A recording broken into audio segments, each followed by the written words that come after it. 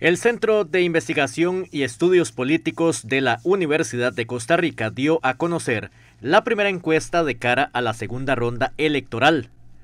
Rodrigo Chávez encabeza el estudio con un 46.5% en la intención de voto, José María Figueres con un 35.9% y los indecisos representan el 15.3%.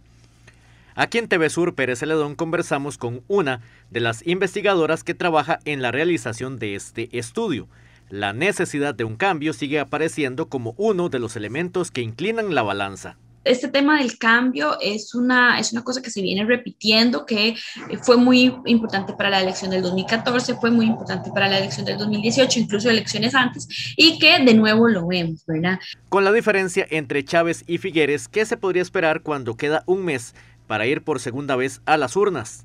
Rodrigo Chávez tiene 10 puntos porcentuales por encima de, de José María Figueres y en este caso pues es, un, es una ventaja importante, pero que eh, puede sufrir reacomodos durante, la, durante lo que queda de, de campaña electoral.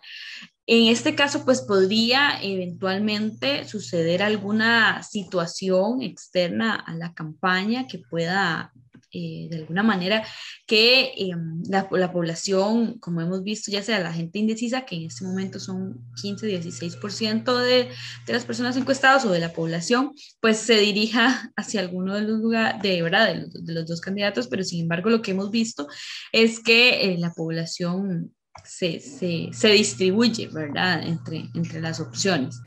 En torno al abstencionismo se podría aumentar para la segunda vuelta programada para el 3 de abril. La tendencia general de cara a las segundas rondas es a que la abstención aumente, ¿verdad?